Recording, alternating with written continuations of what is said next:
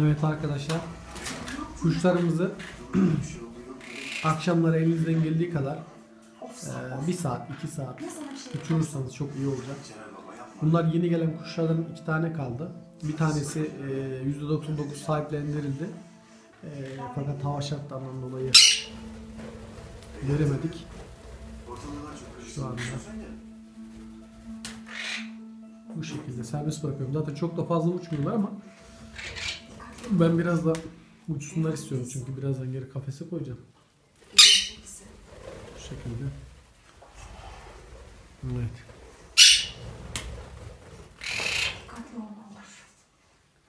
Gayet sağlıklılar. Renkleri çok güzel. Canlı.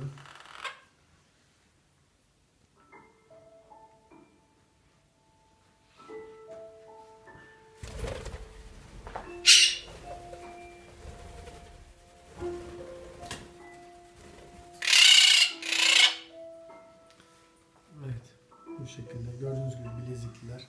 11'e kapalı bilezik. Sonradan takılan bilezikler değil. Çiftlik üretimidir. Normalde kafesin içerisinde kendilerini dokundurtturuyorlar ama şu anda kafes dışında oldukları için uçmayı tercih ediyorlar. Tabii ki de evcil olmadıkları için. Birazdan kafesin içindeki videolarını çekeceğim. Bu şekilde. Normalde büyük kafeste tutuyorum ben. Tabi eğitim için küçük kafese koyuyorum. Alışsınlar burada da elimde böyle burada da birkaç saat orada kalıyor. Sonra tekrar büyük kafese geçiyor arkadaşlar.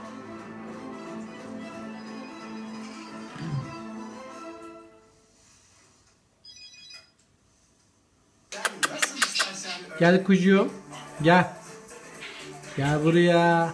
Gel. Ahmet abi her akşam uğraşamıyorum da böyle bazen uğraşıyorum. Bu aralar hava çok soğuk olduğu için çok fazla zaman ayıramıyorum. Üstteki de kendini sevdirmiyor ama bu kendini sevdiriyor. Bu sana çabuk alışır. Allah'ın izniyle bunu sana vereceğiz abi. ve Kısa bir video Ahmet abi ama kuşlar sağlıklı maşallah. Bu şekilde. Hayırlı akşamlar abi.